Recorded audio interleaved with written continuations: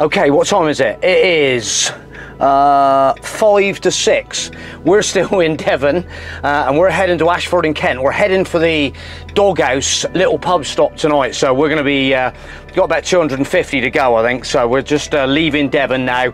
Um, well, we were leaving and Caroline's left a phone in the, uh, the house. So basically, it was like, stop, right, she's going back to get her phone. Oh my God. So a bit of a hectic start for us. Um, yeah, so that's the score. So we'll see what see what develops in the next um, few hours.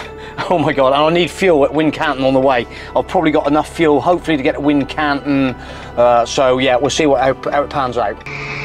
So we made it to West, um, we made it to Wincanton. Um, diesel price, not that uh, cheap here. 191.9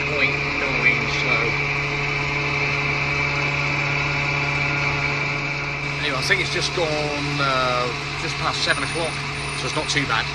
So we're cracking on.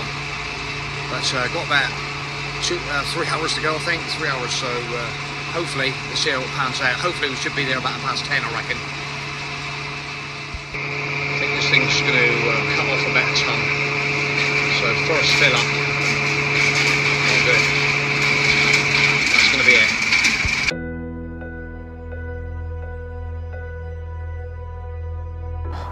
So we actually, so we actually made it to Kent. Crikey. We are actually here in uh, just outside of Ashford. We'll uh, tag in the place where we're to. We're at the um, uh, the Doghouse Vinyl and um, Artisan Beer Bar, which is just over here, but it's probably about 20 past 10 now. Um, there's our moho, we're parked up and uh, it's a nice little uh, car park area here.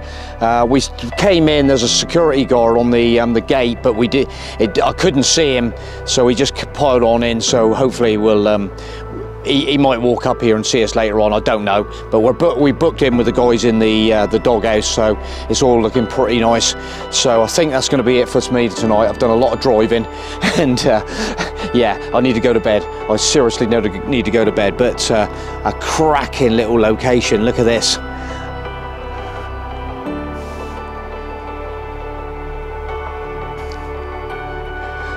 Plenty of space. So I think we're going to uh, get a coffee on. Proper nice and starry up here, look. Oh. Right, that's it. Let's get a coffee on and uh, get our heads down.